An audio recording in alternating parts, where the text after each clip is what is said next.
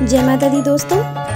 दोस्तों, मैं कोमल आप सभी का मेरे चैनल फूड्स मीडिया पर स्वागत करती हूँ।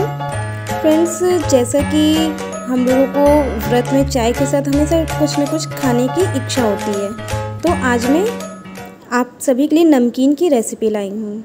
तो फ्रेंड्स आज हम